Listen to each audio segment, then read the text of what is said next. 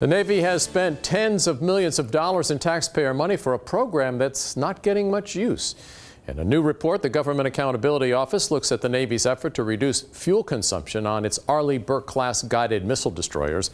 The goal was to install hybrid electronic drive systems on the ships. Since 2011, the report says the Navy purchased six of the systems, but only installed one aboard the Norfolk-based USS Truxtun.